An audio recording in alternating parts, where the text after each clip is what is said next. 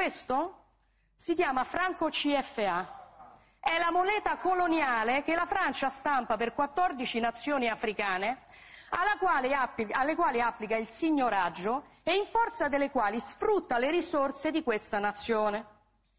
Questo,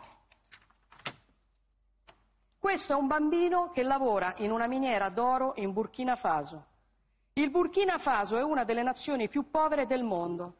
Per il Burkina Faso, che ha l'oro, la Francia stampa moneta coloniale.